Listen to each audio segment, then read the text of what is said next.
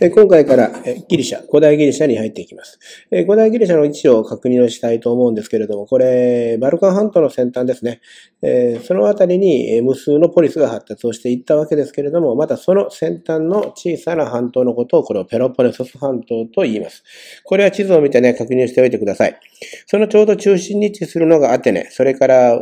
ペロポネソス半島の南に位置する、南端に位置するようなポリスがスパルタと。この二つのポリスを中心に話話を進めていくことになりますけれども、その前にそのポリス社会以前というのを見ていきたいと思います。古代ギリシャの前史というところに触れていきます。紀元前2000年頃から、この一帯に地中海を舞台とした様々な文明が栄えていきます。あの、対岸のですね、今のまあトルコにあたるところ、トルコのですね、西端ですね、えー、そのあたりのイオニアというところですけれども、この地方にはですね、トロヤ文明というのがそれ以前から栄えていたようですけれども、だいたい紀元前2600年頃からですか。まあ、だいたい、でも紀元前2000年頃からこの地中海文明、古代地中海文明が栄えたというふうに考えてもらっていいと思います。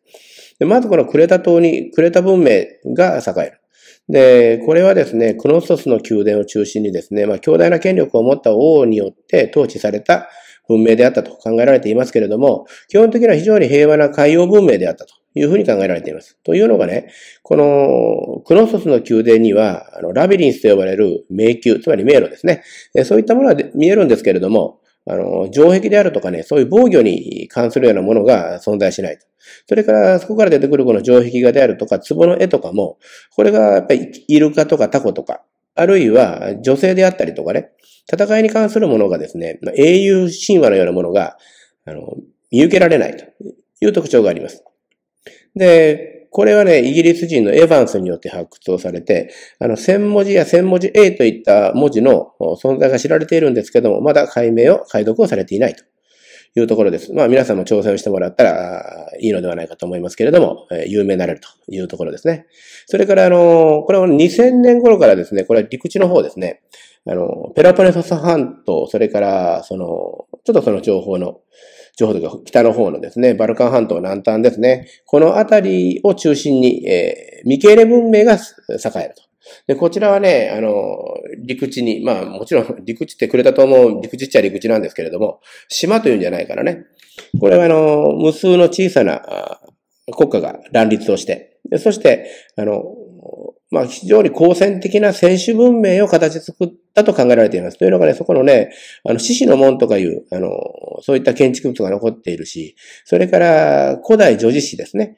ホメロスのイーリアスで有名というふうにこう書いてありますけれども、これはね、昔からあの、ヨーロッパの人たちにとってみれば、我々がその桃太郎やサルカニ合戦みたいなものを、こう小さい時からこう読んでいるように、もっと長いですけれども、その英雄女子史としてですね、親しまれてきたものなんですね。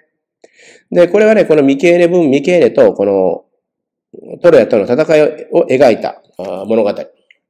でこれはトリアが最終的にはミケーネに攻め込まれて、長い戦争の挙句に、この木馬の刑というですね、トロヤの木馬の刑という、それによって滅ぼされていくという話なんですけれども、まあそういったことから考えても、そういった戦士文化が栄えていたのだろうというふうに考えられています。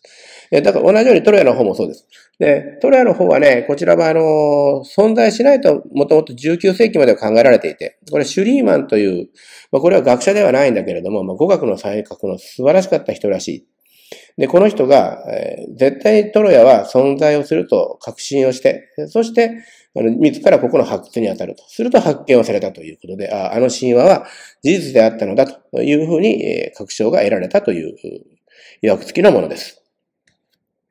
あの、千文字 B というのが、このミケーネ文明では文字としては知られていてですね。で、これはベントレスというイギリス人によって解読をされていますけれども、さて、こういった文明ですね。あの、トロヤ文明やミケーネ文明。クレタ文明は少し早いですけれども、あの、消滅していくのが。これは紀元前1200年に忽然と姿を消す。で、忽然と姿を消す。こういった諸国家が姿を消すというだけじゃなしに、この1000文字 B といった記録媒体ね、これも使われなくなり、まだアルファベットも使われていないということで、これからですね、400年間、紀元前1200年から800年頃まで、いわゆるギリシャでは暗黒時代という時代が到来します。まあ歴史のことが分かってないと。で、暗黒時代というと、暗くて悲惨な時代を想像するけれども、これは分かってないという意味で、それが悲惨であったかどうかということではありません。えこの地図を見てください。えギリシャ人の南下と定住と書いてありますけれども、特にこのですね、紀元前1200年頃からというこの流れですね。で、下の方見てみると、アイオリス人、イオニア人、それからドーリア人というふうに書いてある。で、このアイオリス人とかイオニア人とかドーリア人というのは、これはあの方言集団です。だから、こう、最初にアイオリス人やイオニア人が南下をして、えー、定住をし、そして最後にドーリア人が移動してくると。こういう流れで考えてもらったらいいと思いますえ。それでですね、この方言集団ですから、あの、根本的に言語が違うわけではない。まあ、古代ギリシャ語ではあったわけですよ。で、それが、この方言の違い、だからもともと住んでたとか違うんですよね。で、それによって移動の時期が違う。で、決定的に重要なのは、この同意ア人の南下というもので、これはですね、彼らは鉄器を持ってくるので、非常に軍事的に強大な国家を作り上げる。まあ、国家といっても都市国家だけれども。で、その結果として先住していた赤いア人ですね。これは未経年文化を作った人たちです。赤いア人たちを征服して、そしてこのペロポレス半島に、えー、強大なポリスを作っていく。ポリスというのは都市国家のことです。だからギリシャはですね、統一した国家権力というものではなしに、小さなポリスがそれぞれの方言集団ごとに、それでもたくさんですけれども、あの、できていくという、そういう形態になります。イオニア人はアテネを作る。そしてアイオリス人はテーベ、あるいはコリントスといったポリスを形成していく。そしてドーリア人は代表的なポリスとしてスパルタを形成していったと。で、このあたりのポリスの名前は覚えておいてもらうといいと思います。えー、そしてですね、これが紀元前800年頃になると、そのポリスの形がはっきりをしてくると。大体おそらく暗黒時代頃には、この高いところに、まあ未経年の頃からそうだったんでしょうね。高いところに人々が集まって住んでいたという。あまりこの平地には住んでなかった。で、これはね、見晴らしがいいとかね、いろいろありますけれども、結局これ防御のためですよ。高いところに住んでるっていうのは。それでね、あの、そういった、なんていうのかな、国家や文明の発展も限られていったわけですけれども、まあ、紀元前800年になると人々はこの城山、アクロポリスと呼ばれる城山から降りてきて、平地に定住をし始めるようになると。で、これをシノイキスモスと言います。で、このアクロポリスはね、結構神殿の丘としてね、使われるようになるんですね。人々が住むところじゃなしに、神々の住むところ。だからそこに神殿を作って人々はそれを崇拝するということになります。で、アゴラで、えー、民会を営むと書いてありますけれども、アゴラですね、これ、あの、広場です。人々はね、もう、来る日も来る日もここに集まっては、こう、議論をしたり、ゲームをしたりという生活をしていた。まあ、のんきな生活をしていたんですよ。そうでない時には戦争と。でギリシャも、この時代の様々な文系、文明と並んでですね、まあ戦争オタクの文明なので、戦争するときは戦争と。ただしそれ以外は彼らは暇なんですね。仕事はないのかと。仕事は奴隷にやらせてるわけですよ。だから、あの、労働は奴隷に任せて、自分たちはここでのんきに暮らしていると。で、戦争をするときには、いざというので、遺産で行くと。だから戦争か、暇か、という生活。だから、もうちょっとね、行き過ぎたぐらい、高度な精神生活が発達していくんですよ。ここではね、だから、後の世界、今日につながる様々な学問が発達していく。で、数学、歴史学、そして哲学といったものが発達していきます。これはね、周囲を上皮で囲めが書いてありますけれども、で、今までの説明は全般的にそうですけれども、これアテナのものです。アテネを例にとって説明しています。なぜアテネかというと、このタイプのポリスとしては、アテネはね、もう桁外れにでかいんですよ。だいたい、ポリスっていうのが、人口が1000から2000。そういった中で、アテネは20万人を超えている。で、こういった20万人を超えるような桁外れのポリスというのは、アテネの他にはスパルタしかありません。これはドリア人のポリスです。で、地中海各地に植民地を建設したとあるんだけれども、アテネはね、農業できないですね。ほぼ乾燥帯ですから。どっちも痩せていて、オリーブぐらいが育つぐらいなので、農産物、食料を確保するために、様々な地点、ところに出向いていって、そして植民地を建設した。で、それがマッサリアであり、ネアポリスであり、タレントゥームであり、シラクサであったということです。マッサリアはね、今日のマルセイユですね。それからネアポリスはね、ネアポリス、ネアポリス、ナポリ。で、シラクサやタレントゥーンは今日もその名前で、これはイタリアの町です。それに対抗するものとしては、フェニキア人の植民活動があります。フェニキアもね、これはあの、地中海の東端に栄えた海洋国家なので、農業のできるところではないですから、で、植民地を建設をして、そこから食料や様々な生活物資を運び込んでくるという海洋国家。そして、あの、商業活動も盛んに行うという、この二つの植民活動が地中海に相対立して行われるということになりました。えこちらアテネ市の夜景ですけれども、向こう側にね、地中海が見えますけれども、海沿いの乾燥した地域です。ここに見えているのはパルテノン神殿で、これアクロポリスの頂上にこれが立っているという、ドーリア式建築の代表作です。あの、パルテノン神殿はですね、女神パラスアテーネを祀った神殿なんですけれども、このパラスアテーネというのはギリシャ神話の知恵と戦いの女神で、あの、袋をね、その死者としているわけですけれども、こう、肩の上に袋が持っていて、そして鎧兜を着て、槍を持っている姿で描かれる代表的な女神です。オリンポスの十二神の一人であるということ。です。で、このアテネの守護神がこのパラスアテーネだということで、町の名前の由来もそこから来ているし、えー、こういった立派な神殿が建てられています。今度はスパルタを見ていきます。これもアテネと並ぶ有力なポリスで、人口20万人を超える巨大ポリスですね。で、これはですね、あの、かなり特徴的なシステムを持ったポリスで、リュクルゴス製と言いますけれども、非常に奴隷の数が多い。これヘロットとかヘイロ体と呼ばれるものですけれども、だからこの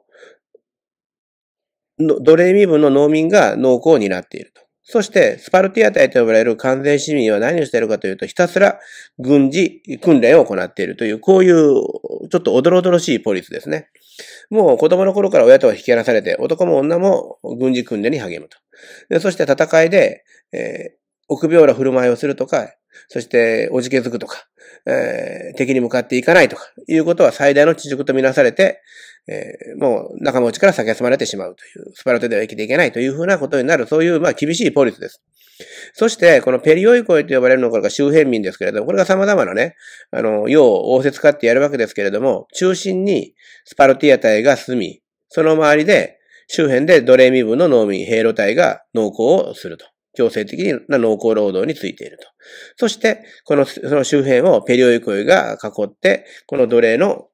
逃亡を防いでいると。そういう住まい方をしています。そしてアテネの方は横見てみると、こういう比率なので、あの、ちょっと奴隷といってもね、アテネはね、家内奴隷であったりね、そういった様子が強いので、あの、農耕奴隷というのではないので、アテネでは。ですから、こういう比率になっています。で、市民は市民、それから在留外人、これ無権利な人たちですけれども、商工業、商業者たちです。これ、あの、メトイコイと言います。そしてスパルタはですね、一応民主制ではなしにこれ王政なんですね。ただまあ、これは軍事指揮官という役どころで、まあ、二人がね、これを、あの軍を率いていると。そして、二人の合議で進んでいくと。で一応政治の決定権は民会という議会が持っています。これも直接民主制ですね。はい。えー、これ、アテネとも共通しますけれども、スパルティア隊やアテネ市民など、喫水のギリシャ市民はヘレネスと言います。で、この次のシートに出てきますけれども、まあ、スパルティアテは自分たちのことをラケ大門人と言ってね、そう呼んでほしかったみたいですけれども。はい。えー、アカイア人。これはね、未経年文明の時に、こう、栄えた人た、人々ですね。これを征服をして、この、ドーリア人が築いたポリスです。で、ここに問題がありますけれども、なぜスパルタには城壁がなかったのかという。アテネには立派な城壁がありましたけれども、スパルタには城壁がない。で、これはですね、スパルタは人こそが城壁であるというので、城壁なんかを作って守ってるなんてのはね、根性が足らんと。だからもう、肉弾で人間の力で守ってそれがスパルタ人だ。それぐらいの強さがあって当たり前だ。ということで城壁がなかった。まあ何にしても、えー、好戦的な、非常に、えー、骨太なポリスであったということが言えそうです。えー、このね、ポリスが、無数のポリスが並び立っているのが古代のギリシャの特徴で、一つのギリシャというね、まとまった国にはなってないんですね。だけど、この我らギリシャ人という共通の意識、アーヨリス人、それからイオニア人、ドーリア人といった方言の区別はありますけれども、このギリシャ人というギリシャ語を喋っているという共通の意識、仲間意識はあったようです。で、そうした人々のことをヘレネスと言います。そして、あの、ギリシャのことをヘラスと言っていたんですけど、まあ、ヘレネスが住むところという意味ですね。ヘレネスというのはね、これあの、ホメロスのイリアスという英雄女子誌に登場する、まあ、絶世の美女のヘレネというかいる。ヘレネ、この人こそがですね、このトロヤ戦争の元を作ってしまうんだけれども、このヘレネの子孫であるというような意味があるようです。そして、その共通の意識の中に、オリンポス十二神の信仰。オリンポス。これはもう要するに雲の上の世界と思ってもらったらいい。で、そこで12のね、主要な、あの、神様がいるんですけれども、まあ、ゼウスが頂点として、それを共通して信、あの、信仰していると。それから、あの、オリンピア競技。で、戦いがあっても、オリンピア競技の時には、戦いを中止して、そして、すべてのポリスがそこで競い合うと。いうことですよね。それ以外はね、逆に言ったらね、それ以外はね、あの、ことごとく戦争してたと。もう戦争オタクのような、地域だった、場所だったギリシャというのはね、そう思ってもらっていいと思います。デルフォイの信託というのは、デルフォイというところにゼウス大神殿がある。で、そこに、えー、何か、こう、困りごとがあった時とか、物事を決めかねた時には死者を派遣して、そこの巫女が下す信託、神のお告げというものを聞いてくると。これはね、決定的な、あの影響力というかね、力があったんですね。だからそのデルフォイの信託を信じているという点でも共通の意識があったと。で、共通の言語っていうのはこれバルバロイに対してですよ。バルバロイっていうのは野蛮人と訳しますけれども、これおかしな言葉を喋る者たち。後で出てくるマケドニアなんかもこれもバルバロイに分類されるんですけれども、そういう我々は方言は違っていても正しいギリシャ語を喋っているという意識があった。そしてリンポ同盟という、これはね、ギリシャのショポリスを一つにまとめる、我らギリシャ人という証のような同盟が存在していた。そしてここ一番では一致団結と。だから、お互いにはいつも戦争しているというポリス同士で、そんなギリシャですけれども、外敵が迫ってきたという時には、同じギリシャ人だということで一致団結して戦うと。こういった伝統を持っていたようです。はい。えー、今、ヨリンポスの十二神という話をしましたけれども、これはあの、ギリシャ神話の世界です。で非常に人間臭い神々がですね、様々な事件を引き起こし、そして、えー、人間臭く恋愛に命をかけ、といったような物語が繰り広げられます。あの、その最高神はゼウスなんですけれどもね、これがまたね、あの、浮気者でね、そういう女性たちとの間に、あるいはその嫉妬深い妻のヘラとの間のいさかいとかね、様々なことをですね、引き起こしてくれるんですよ。で、このヘラはね、ゼウスの姉なんだけれども、まあ制裁であるという、制裁であるということは、このゼウスのちょっとこの素行がよろしくないので、いろんなところに、えー、いろんな小種を作ってきたりとか、そしてまた、あの、娘のアフロディーテという、これ、まあ、ローマ神話のアフロディーテはヴィーナスですけれども、この人がまたね、落ち着かないんですよ。この人もそこがよろしくないですね。で、ヘパイストスという夫がいるんだけれども、これあんまりヘパイストスが地味で見栄えが良くないので好きじゃない。で、そして、あの、ね、アレスという、これも戦いの神ですけれどもね、これパラサーテーネと違って、戦いといってもこれあの、力押しの傾向が強い。で、まあ、あんまりやるですよ。パッとしないですよ。あの、力押しでの、要は、戦略とか戦術ってのものがないっていう。要するに、イノシシ武者みたいな。これとね、あの、浮気の関係、浮気する関係になってね、そんでバレて晒し者にされるとかね。大丈夫かなっていう。そういう神々が出てきます。あの、どれもこれもね、あの、実に人間臭いというか血管だらけの神々ですけれども、それだけにギリシャ神話というのはとても面白く、えー、今の時代にあっても読者が絶えないという物語です。ぜひ読んでみてください。